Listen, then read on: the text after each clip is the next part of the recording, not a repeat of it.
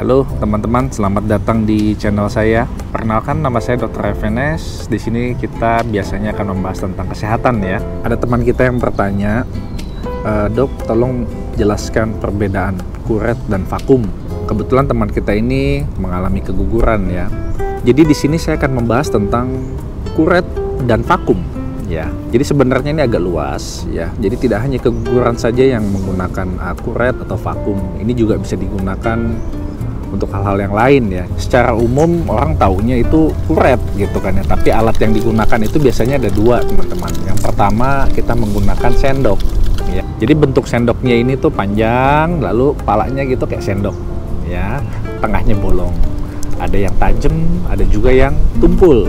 Sedangkan vakum itu alatnya seperti ini teman-teman. Bentuknya itu seperti sedotan lalu di belakangnya itu ada alat yang vakumnya sedotnya itu.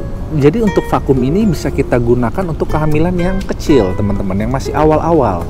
Apabila terjadi blighted ovum kehamilan kosong ataupun janin yang tidak berkembang ya sekitar usia 6 7 8 minggu itu kita bisa menggunakan vakum.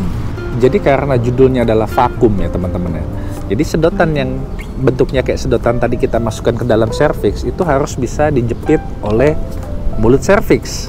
Di sini ada diameternya. Kalau mulut cervixnya sudah terbuka gitu karena sekitar setengah senti itu ada ukurannya. Kalau ada satu senti itu ada ukurannya. Ya paling gede mungkin sekitar satu senti, satu setengah senti ya.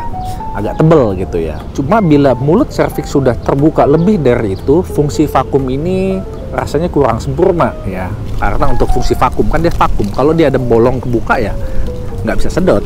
Semacam itu itu dari segi hasil yang kita temukan pada pemeriksaan pada mulut serviks ya. Nah di sini juga ada hubungannya dengan umur janin jadinya.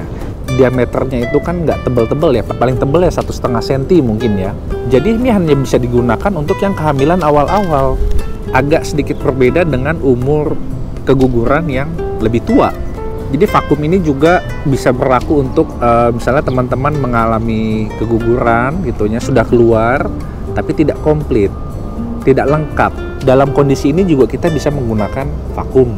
Jadi karena vakum ini ya teman-teman terbatas di apa selangnya ya, sedotannya gitu kan ya. Ini tidak bisa untuk yang bayi yang lebih besar. Gitu. Jadi ini juga untuk teman-teman yang lain apabila kita terjadi keguguran misalkan yang um, umur kehamilannya lebih besar 16 atau 18 minggu. Mungkin sekitar 300 gram janinnya. Ini tidak lagi kita menggunakan vakum. Pada posisi ini itu bayi sudah harus dikeluarkan dulu teman-teman. Ya memang kayak beranak tapi ya bayinya lebih kecil logikanya seperti itu. Setelah itu baru kita melakukan kuret. Pada saat kita melakukan kuret yang seperti ini teman-teman biasanya kita sudah melakukan pakai menggunakan sendok. Kenapa kita menggunakan sendok? Seperti yang saya bilang tadi kalau bayi misalkan sudah sekitar 300 gram itu kan bisa keluar. Sedangkan pada saat itu mungkin mulut serviks sudah terbuka sedikit lebih besar ya. Sudah tidak bisa lagi menjepit sedotan yang ada ya kan? Jadi fungsi vakumnya itu sudah tidak bisa. Jadi pada saat ini kita sudah harus melakukan pembersihan secara manual dengan sendok Lalu apabila ini sama-sama bisa dilakukan, misalnya pada kehamilan yang lebih kecil, apakah ini harus vakum ataupun ini disendok? Apabila umur kehamilannya kecil ya teman-teman, memang secara kemudahan lebih mudah dilakukan dengan vakum. Kita tidak perlu membuat mulut serviks lebar sekali, cukup itu oh terbuka setengah senti, kita masukin yang setengah senti. Oh terbuka satu senti, kita masukin yang lebar satu senti. Disedotlah itu semua, semacam itu. Kalau memang dirasakan masih kurang pada saat itu, kok ini kayak masih ada lagi gitu kan ya. Nah di situlah mungkin dokter akan melakukan tambahan tindakan dengan menggunakan manual. Tapi itu tergantung dengan asesmen dokter masing-masing. Ya.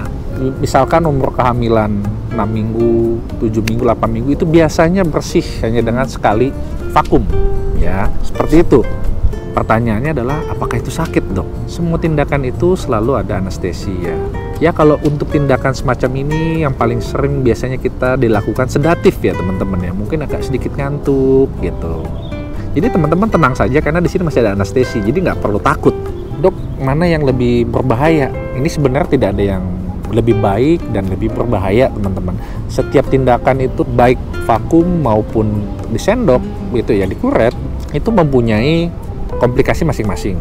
Tapi percayakanlah sama dokter teman-teman ya, bahwa kita itu selalu juga meminimalisir lah. Kita juga nggak mau ada masalah gitu kan. Nah lalu teman kita ini bertanya lagi dok, saya sudah dikuret nih, saya bisa hamil nggak ya dok? Bisa ya teman-teman ya. Banyak teman-teman kita yang lain juga habis keguguran, dikuret, nggak lama kemudian itu bisa hamil. Apakah ini mempengaruhi kehamilan ke depannya gitu kan ya? Saya rasa tidak ya. Memang ada beberapa komplikasi endometriumnya terkikis pada saat kita melakukan kuret. Di situlah kita akan terjadi permasalahan tentang mungkin haidnya. Dan di situ juga kita mungkin untuk kehamilan yang selanjutnya. Tapi saya tidak membahas ke sana ya. Jadi pada prinsipnya teman-teman mesti ingat bahwa baik itu kuret maupun vakum setiap tindakan itu mempunyai resiko ya. Resikonya itu selalu ada ya. Vakum atau kuret ini bisa digunakan kedua-duanya jadi percayakanlah teman-teman baik vakum maupun kuret ini kepada pemilihan dokter ya.